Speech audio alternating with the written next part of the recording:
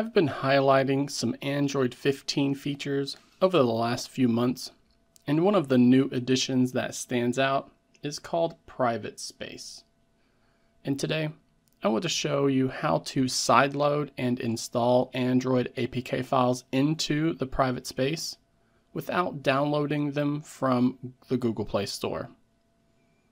Now, I will assume that you have already set up the private space feature within your device. But if you're not familiar with what private space is or how it works, then I'll be sure to, to link to my introductory guide in the video description below. You'll also find that link in the pinned comment here as well, so that it's easy for everyone to find. But once you have it set up, let's go ahead and unlock it.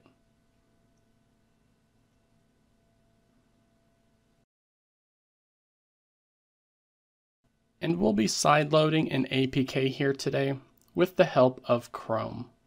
But you could use any browser that you have set up within your private space area.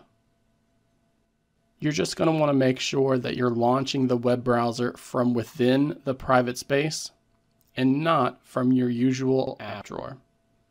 With the web browser open, we're then going to download the APK file directly within Chrome it won't matter if it's downloaded from a website like APK Mirror or if you're downloading from a place like GitHub.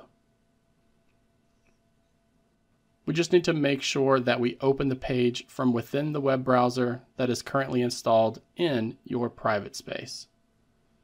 We're then going to open up that APK file that was just downloaded, just like you normally would. You will then need to grant the app permission to install APK files if you haven't done so already. But that's normal, and you'll see the prompt appear if it's needed. Once it has been opened, go ahead and tap on Install and let the application be installed to your private space. Now, when we minimize the browser and go into our private space, you can see that new application has been sideloaded just like normal. The process of moving data to and from Android's private space feature hasn't really been fully fleshed out. And that's why we need to use a browser to download the APK file and then install it from there. Android 15 does have a way that we can use ADB to sideload that file.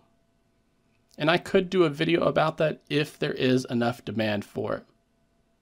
So if that's something that you would like to see here on the channel, then leave a comment down below to let me know. But please, remember to like this video while also subscribing to the channel for more Android 15 tips like this.